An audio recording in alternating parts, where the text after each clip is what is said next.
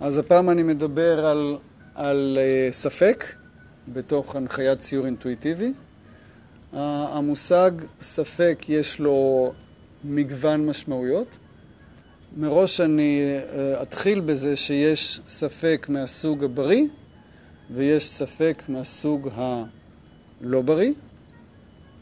ואנחנו מתייחסים כרגע uh, בהנחיית ציור אינטואיטיבי למצב שיש ספק שמעכב אותנו, מחליש אותנו ובולם את היכולת שלנו לזרום באופן יצירתי, אינטואיטיבי, לתת הנחיה שמגיעה ממעמקי הרגשות שלנו.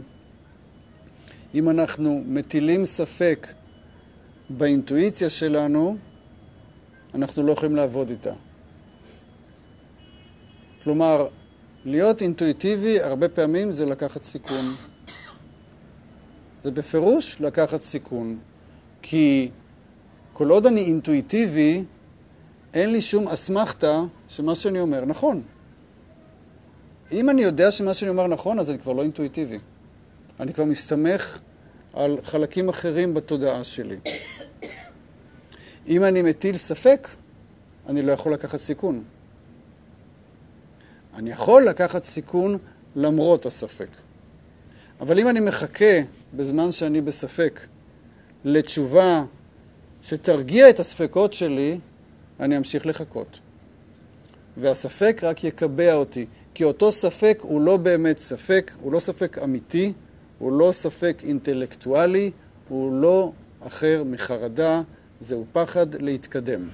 זה פחד להשתחרר, פחד לעשות טעות, פחד לאבד שליטה, זהו הספק מהסוג הנמוך, והוא מופיע מעת לעת. ואנחנו לא יכולים להחליט שהוא לא יופיע. הוא יופיע והוא יכול להופיע ברגעים שאנחנו מאוד מאוד לא רוצים שהוא יהיה. אנחנו מגיעים לתת הנחיה, מגיעים להחליט איזושהי החלטה, ובאותו רגע זה צץ. אז קודם כל כדאי שנדע שהרבה פעמים זה לא באמת ספק, זאת חרדה. הגענו לאיזשהו צומת ואנחנו מפחדים לנוע קדימה. כי אנחנו צריכים לנוע קדימה בעיניים עצומות. אנחנו צריכים לסמוך שזה יהיה בסדר, גם לא, אף אחד לא מבטיח לנו שזה יהיה בסדר.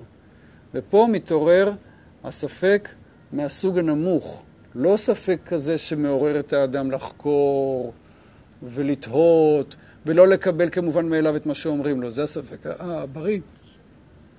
זהו ספק מהסוג האחר, הספק שהוא פרי בית החרושת של הביקורת העצמית המוגזמת שלנו, ספק שנועד לשמור אותנו במקום יותר מוגן, ספק שמצמצם אותנו, שמשאיר אותנו היכן שמוכר, היכן שידוע, ולמעשה היכן שלא קורה בו כלום. הספק הזה, שהוא חרדה בסופו של דבר, יכול להציג את עצמו כמשהו אינטלקטואלי, שכלתני, הגיוני, ריאליסטי, אבל הוא לא כזה. הוא חרדה. טוב יהיה שנוכל לומר לעצמנו, מה שיש לי כרגע זו חרדה. ואם נוכל לומר את זה לעצמנו, נוכל לעבוד עם זה. זה כבר, אנחנו כבר בדרגה אחרת של שליטה, כשאנחנו יודעים מה קורה לנו. אנחנו יודעים לתת שם אמיתי לחוויה.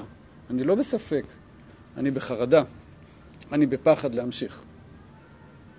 בכל מקרה, התפקיד שלנו הוא, כאשר הספק מגיע, זה להכיל אותו, לתת לו להיות, אבל לאו דווקא להישמע לו. הספק הזה מנסה לעצור אותנו, ורק אם אנחנו עושים פעולה יצירתית, קצת נועזת או קצת שטותית, כזו שאנחנו אפילו לא מבינים למה אנחנו עושים אותה, הספק הזה יתרכך. כפי שכבר הסברתי, זה מסוג הספקות ששום הסבר לא יוכל להרגיע. וזו הסיבה שאנחנו הרבה פעמים לא רוצים יותר מדי להסביר לתלמידים איך הדברים עובדים, כי זה רק יגדיל את הספקות שלהם. זה לא ירכך את הספקות.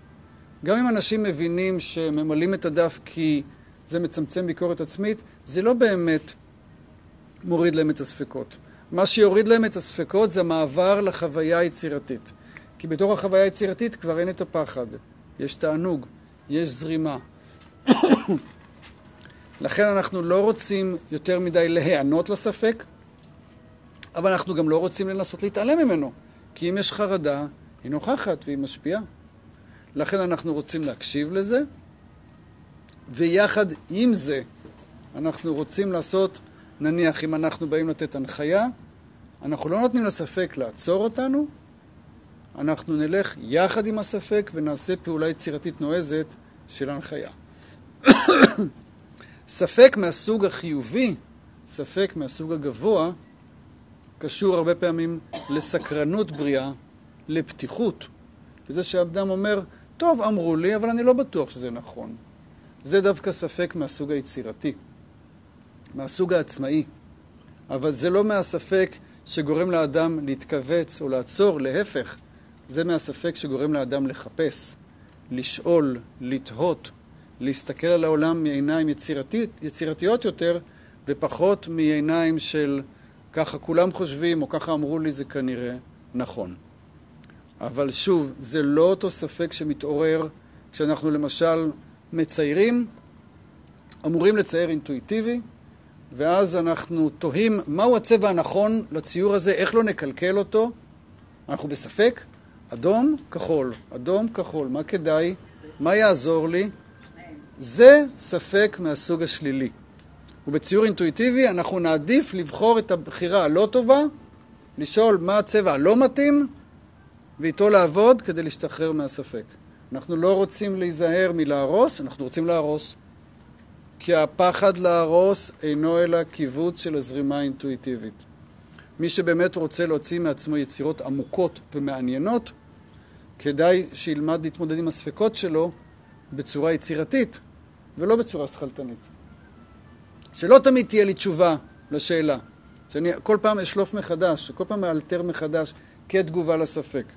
אני לא ארצה ליצור מנגנון ש, שתמיד נותן מענה הגיוני לספק. אני רוצה להמציא אותו כל פעם מחדש. אז אני רוצה לסכם. הספקות יבואו.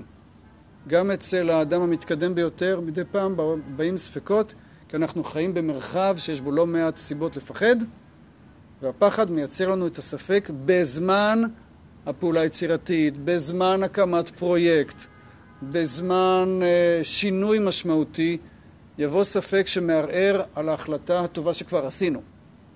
אז אנחנו רוצים להאזין לספק, להגיד לעצמנו שזה חרדה, ולא נותר לנו אלא להמשיך קדימה עם הפרויקט שלנו, עם השינוי שהחלטנו, עם היצירה שלנו או עם ההנחיה שאנחנו נותנים. אנחנו ממשיכים קדימה. הספק מנסה לעצור אותנו דרך הביקורת העצמית, מנסה למנוע מאיתנו להשתחרר, אנחנו לא רוצים לספק לו את זה. אבל, אני שוב אומר את האבל, אנחנו לא יכולים להתעלם ממנו. הוא יופיע וזה בסדר שהוא יופיע. זאת חרדה. לחרדה יש אנרגיה. עם אנרגיות אנחנו נשתמש להמשך היצירה וניתן הנחיה ונצא מזה. הספק תמיד ילווה אותנו, אבל נוכחותו תהיה פחות ופחות קובעת ככל שנעבור יותר לעבודה עם מוח ימין, ככל שניצור יותר אינטואיטיבי, ככל שניקח יותר סיכונים, ככל שנתמוך בשינויים שהתחלנו ולא נוותר, נמשיך איתם עד שנגיע למקום שנגיד, שנרגיש, אכן, הנה זה השינוי שרציתי.